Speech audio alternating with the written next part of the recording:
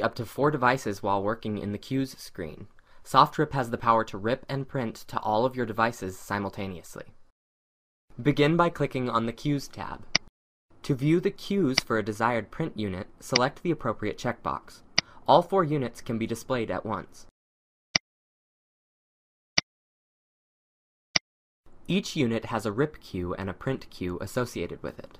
These queues display jobs that have been or are waiting to be processed. Selecting a job activates the toolbar above the corresponding queue. These buttons perform a variety of functions vital to queue control.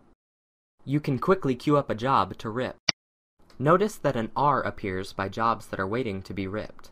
Once the file is ripped, it moves over to the print queue. Selecting the Rip and Print button will rip the job and print a single copy.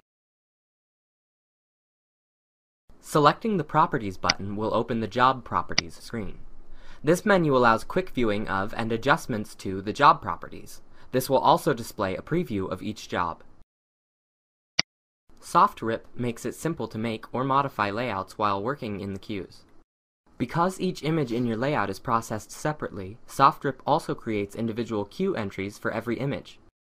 To add an image to an existing layout, simply select the job in either the RIP or Print queue and choose the Add to Layout button.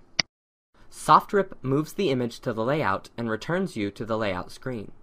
Notice that images added from the print queue have a light blue line around them. These images have already been ripped. They will not undergo any further processing when the layout is queued up to rip. Once you have finished adjusting your layout, simply click Rip and Print.